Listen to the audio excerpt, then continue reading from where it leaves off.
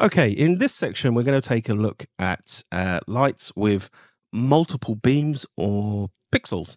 Um, in our case, we're going to we, we count them as lamps, um, and on our test rig, we've got a couple of bars, a couple of ADJ-UB9Hs, which uh, have um, the split of three split uh, pixels on them.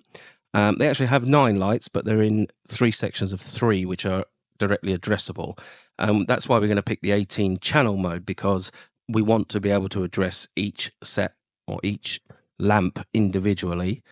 Uh, in our case, they're going to start at address 256 and we have two of them. So let's patch them. Okay, they're in. Right now we can test that they're working. So I put them in the alternate group. Let's bring up our lights and check that they are working. Yep, there they go. Lovely.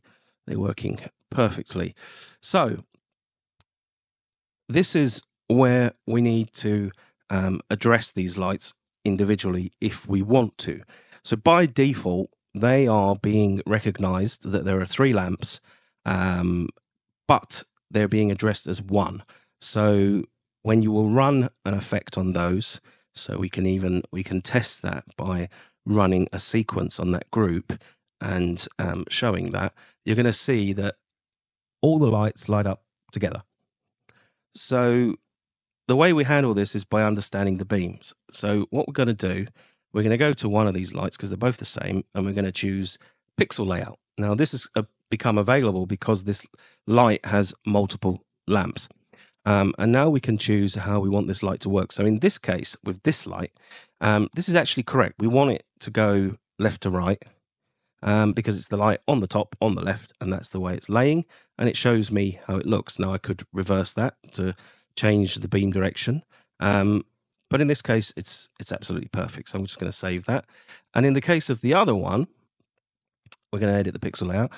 Well, it's the opposite bar. So I actually want it on this occasion to go right to left. So let's save that. So now it understands that there are three lamps and it can address them individually. Um, and we can test that, for example, with a carousel effect, where we're going to see that the three lamps are behaving individually.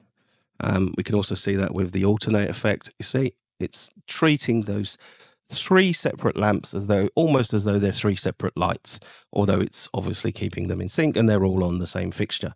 So for that kind of fixture, if you want to have them using the pixels individually, then that's how you can set that up.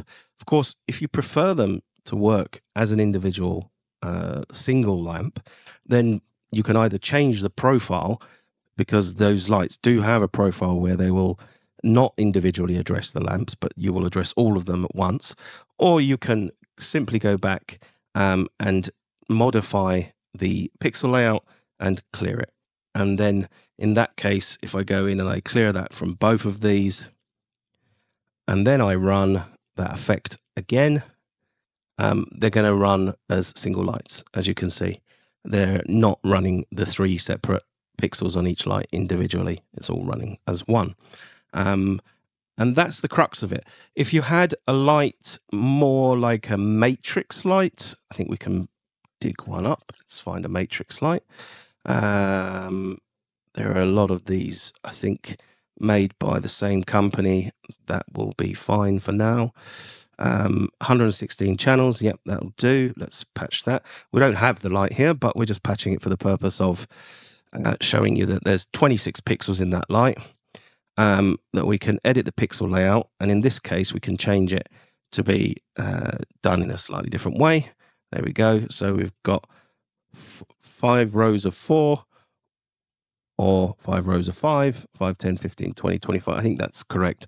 Uh, I think it's not 26. I think it's, I, I, don't know this fixture. So let's say, and now you can see that you've got it the way the pixels are running and you can change the direction and then in, then they can be individually addressed as individual lights. Um, when you have a matrix light like this and it's a single light, um, the software is not designed to work completely like a pixel generator.